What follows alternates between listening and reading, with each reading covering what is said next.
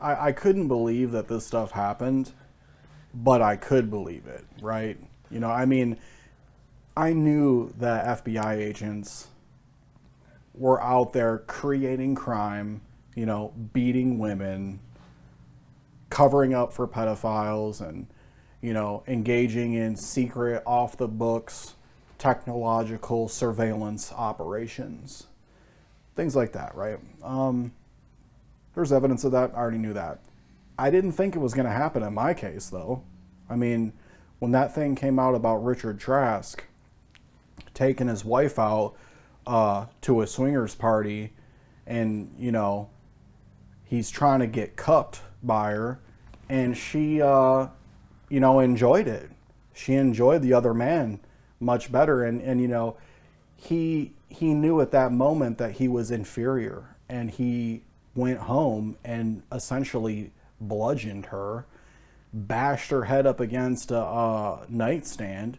You know, this guy's covered in blood. Like, hey man, your guys' lifestyle involves going, like, you work for the FBI, then you punch out, and then on a Sunday night go to some extravagant hotel where there's a bunch of swingers, and then you want to watch your wife do it with some other guy, and then get pissed that she enjoys it, and then come back home and beat the shit out of her because she made that noise that she doesn't make with you or whatever. And then you know what I mean? You're you're you're supposed to be out here stopping terrorism, and this is the type of behaviors that you engage in out of work, and then take selfies of you like flexing your biceps, you know, like you're so strong and masculine, you know what I mean? But you beat your wife. So, yeah, that's kind of a problem. You know, the statistics say that 40%, 40 to 50% of law enforcers uh, beat their wives. I mean, that's not like something I want to exist. It's not a fact that I made up. That's reality. Um, so yeah, that blew my mind. Uh, and I was like, well, you know, I feel sorry for his wife. That's a horrible thing, but that totally helps our case because it proves, it shows that these agents involved in this case were corrupt and incompetent. You know what I mean? And it, I'm sorry that she had to kind of like make that sacrifice if you want to think about it like that. Uh, I feel bad for that. She has to go through with that.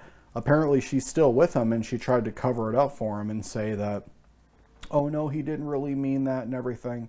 Listen, I listened to the 911 call. I saw the pictures. I watched the uh, body cam footage. I saw the blood. I, I saw the gashes in your dome. I saw everything. Like, you're living with a violent psychopath that beats women into a bloody pulp. He tried to kill her, you know? He tried to kill his wife and didn't succeed, and then left wasted and was picked up by the uh, local cops at a uh, Meijer parking lot in your boxers still covered in blood.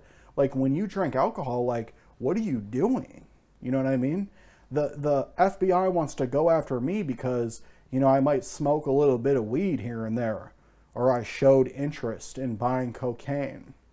Okay, well, at least I'm not getting wasted and going to swingers parties and beating the shit out of my wife.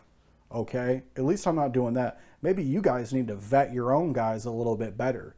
You guys are too busy going after real patriots and regular people in America that don't want their rights violated. And you got your own agents out here, you know, beating women and diddling kids and covering up for uh, uh, human trafficking rings, all right, and then framing presidents and, and, and framing fake terrorism cases. So you guys really need to get your stuff together because nobody believes you at all anymore.